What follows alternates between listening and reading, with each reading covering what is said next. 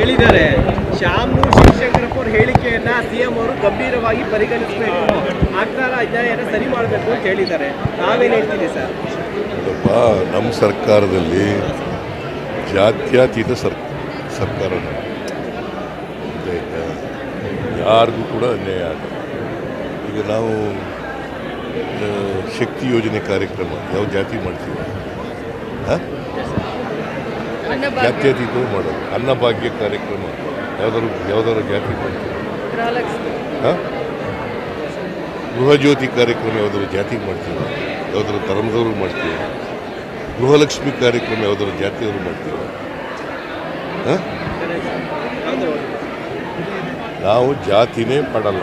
ಎಲ್ಲ ಜಾತಿಯವ್ರಿಗೂ ಕೂಡ ಎಲ್ಲ ಜಾತಿಯವ್ರಿಗೂ ಸಮಾನವಾಗಿ ಕಾಣ್ತಕ್ಕಂಥ ಪ್ರಯತ್ನ. ಮಾಡ್ತೀವಿ. ಸಿಎಂ ಇಬ್ರಾಹಿಂ ಅವರು ಸಮಾಧಾನಗೊಂಡಿದ್ದಾರೆ ನಿಮ್ಮ ಸ್ನೇಹಿತರು ಕೂಡ ನಮ್ಮ ಪಕ್ಷಕ್ಕೆ ಏನಾದ್ರು ಕೂಡ ಆಹ್ವಾನ ಕೊಡ್ತೀರಾ ಸರ್? ನಾನು ಸಿ ನಾವು ಅವ್ರನ್ನ ಇಬ್ರಾಹಿಂ.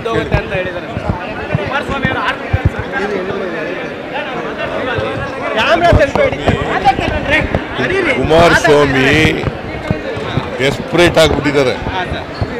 ಡೆಸ್ಪ್ರೇಟ್. ಯಾಕೆಂದರೆ ಪೊಲ್ಯೂಷನ್ ಗೌರ್ಮೆಂಟ್ ಬರ್ತದೆ ನಾನೇ ಮುಖ್ಯಮಂತ್ರಿ ಆಗ್ತೀನಿ ಅಂತ ಭ್ರಮೆಯಲ್ಲಿ ಈಗ ಭ್ರಮ ನಿರಸನರಾಗ್ಬಿಟ್ಟಿದ್ದಾರೆ. ಹಾಗಾಗಿ ಬಿಕೇಮ್ ಡೆಸ್ಪರೇಟ್ ಅದಕ್ಕೋಸ್ಕರ statement if you like this video ಬೇಗ ಲೈಕ್ ಮಾಡಿ ಕಾಮೆಂಟ್ ಮಾಡಿ ಶೇರ್ ಮಾಡಿ ಹಾಗೂ ಯೋಯೋ ಟಿವಿ ಕನ್ನಡವನ್ನು ಸಬ್ಸ್ಕ್ರೈಬ್ ಮಾಡಿ.